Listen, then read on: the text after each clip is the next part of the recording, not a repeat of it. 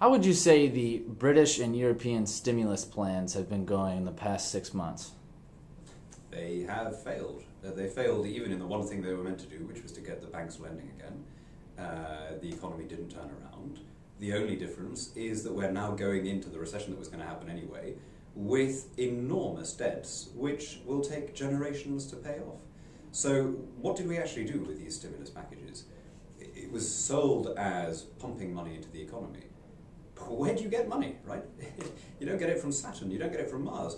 You have taken that money out of the economy through taxation in order to pump it in. So all you've really done, when you break it down, is you've taken money out of people's pockets and you have spent it on their behalf through state bureaucracies. Now, if that really were a better way of allocating resources than leaving people to make their own decisions, we would have lost the Cold War.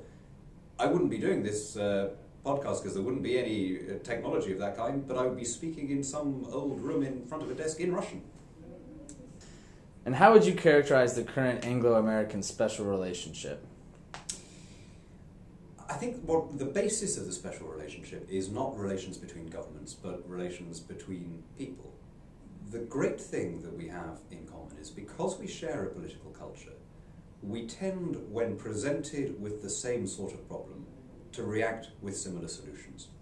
I'm a member of the European Parliament, and I'm sometimes teased there when we go into uh, Afghanistan or we back uh, the US in other overseas deployments. My French and my German and my Spanish colleagues will say, "Come on, you guys, don't you have an independent foreign policy? You know, why are you just going in? You, you're like an American aircraft carrier." And my answer is, look, it's, it's not that we're going in just because Washington is going in. It's because sharing an outlook, sharing a way of looking at the world when we are faced with the same issue, we tend to react the same way that they do. We bridle at injustice, we dislike bullying, we are prepared to deploy proportionate force in defense of freedom.